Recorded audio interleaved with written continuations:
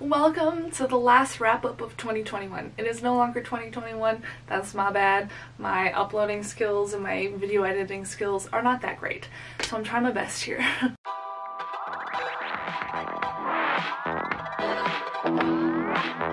but I read seven books in 20 the last month of 2021. Some of them were not great. I will say that I finished 2021 on a sour note. Kind of sucked but I'm over it, I'm reading good things, whatever, we're moving on. But I'm here to talk to you about the books that I did read in December. I keep wanting to say 2021 instead of December, and I don't know why my brain is doing that.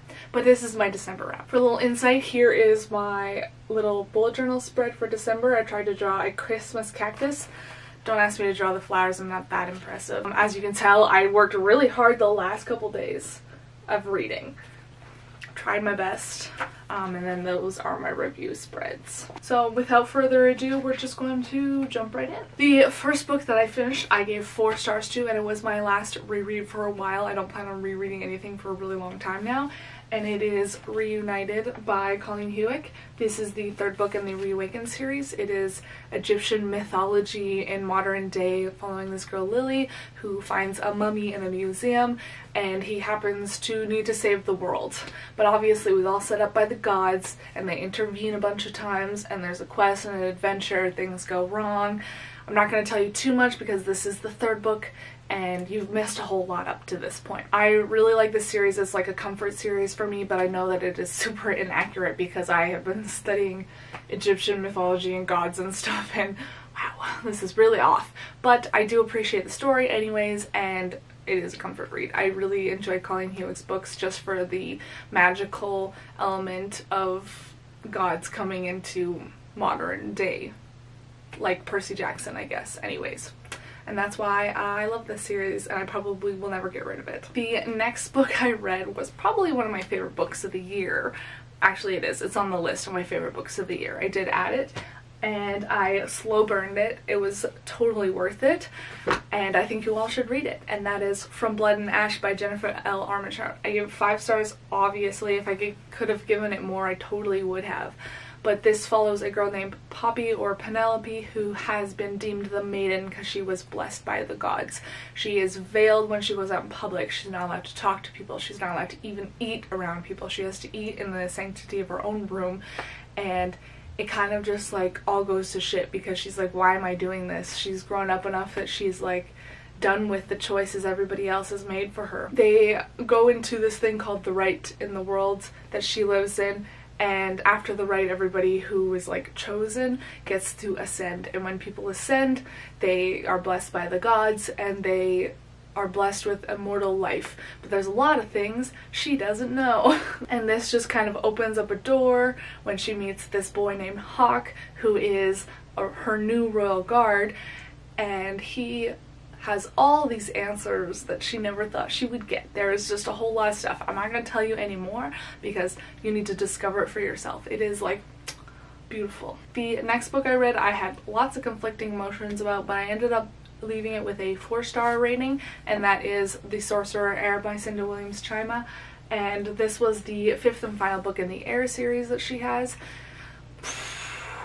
Take a deep breath. This I don't can't tell you what happened in the first three books because I read them like two three years ago. This one and the Enchanter Heir I left because they follow a new kind of storyline as well as new characters and the Dragon Heir which is the book the third book kind of finished off in like a trilogy feeling. So I never had really any interest to read these two.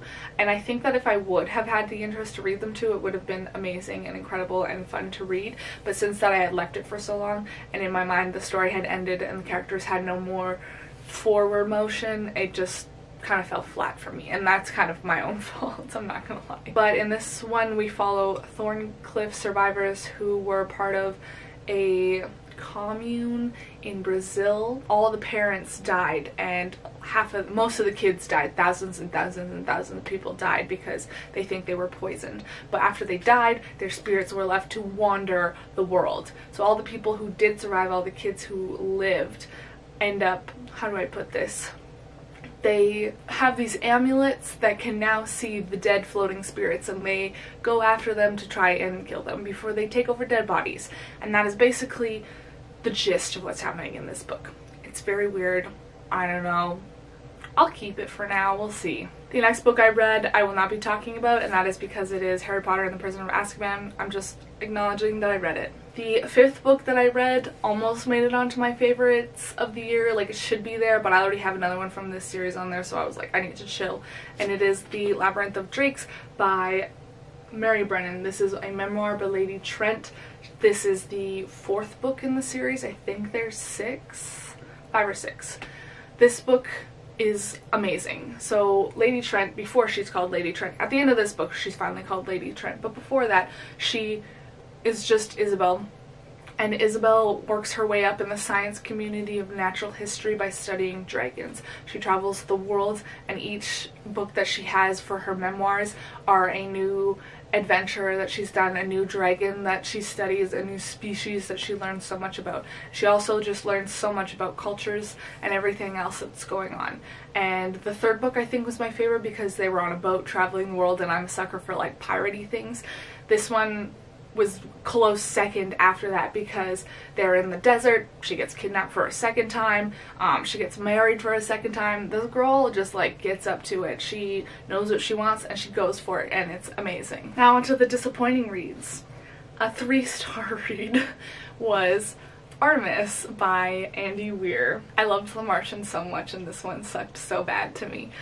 It is a town on the moon. They're the only town on the moon. They're called Artemis after the goddess. They actually mentioned it in here, which is really cool. And our main character, Jazz, is a criminal, the only criminal really on the planet. She smuggles stuff in. She has no money because she, her she left her dad's house at a really young age and she has a lot of problems and her solutions to solve them are not great. She almost kills the entire town by accident trying to get some money, like a million whatever their money is called. So it was just weird and I was glad to be done with it.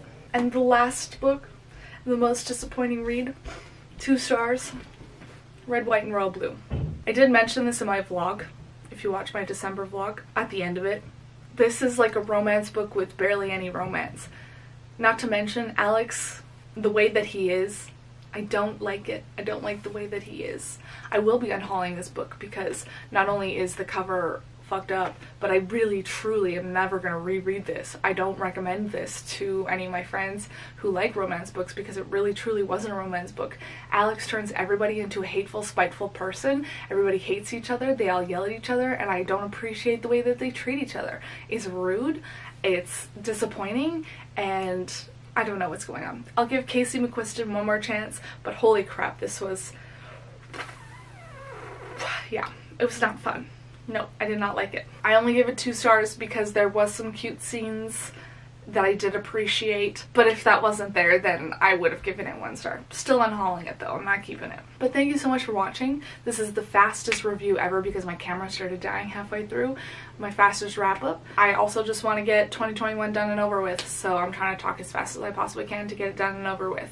But thank you so much for watching, and I will see you all with the New Year videos very soon. It's coming, I swear, I promise. Like, I'm working my hardest. I think I have one more 2021 video after this, and then we're good. Maybe two. And then we're moving on to the new year. Bye!